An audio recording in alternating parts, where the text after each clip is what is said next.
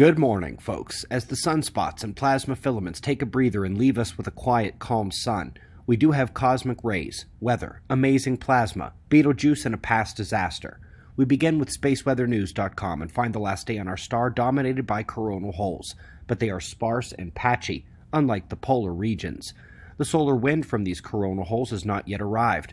The telemetry shows an ambient quiet stream totally within normal range, and geomagnetism has been low. At 27 hours of KP at 0.2 average, the cosmic ray health alert is high. App users, you got that alert yesterday. And while the cosmic ray event does continue into this morning, when those coronal hole streams of solar wind arrive, they should be raising the KP back up off the floor.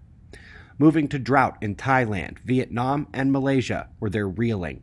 It's the worst drought in the region in 40 years, and we are on the precipice of a major disaster if the rains don't arrive soon.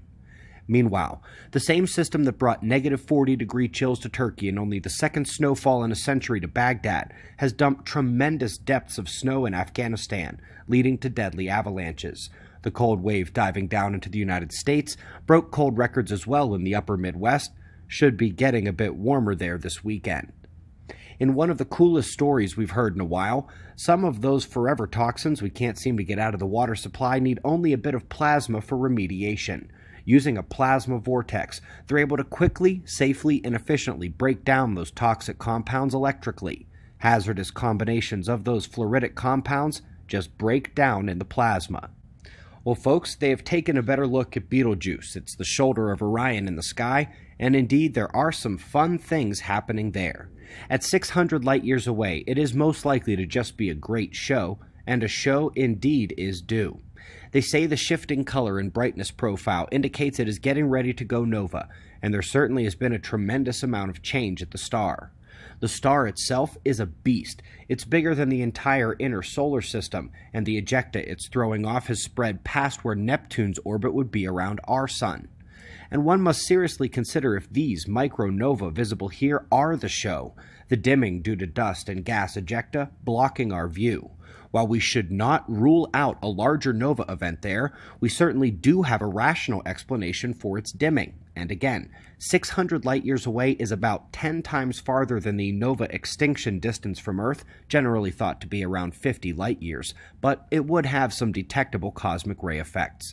Now, sticking with disaster topics for a moment, we're looking at the recent record of magnetic excursions on Earth, being about due for another and having Earth's field change like it hasn't in thousands of years is the coincidence that breeds concern.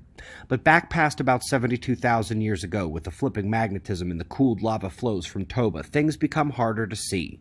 The next officially known excursion before that was a terrible one, back about 115,000 years ago. They call it the Blake excursion. There are hundreds of papers on it, and you can check it out if you want to, but it turns out that this period is also the last confirmed existence of Homo erectus. While the majority of the species had died out, the last remaining survivors resided in Indonesia, and we have evidence that their existence ended right when the Blake reversal occurred.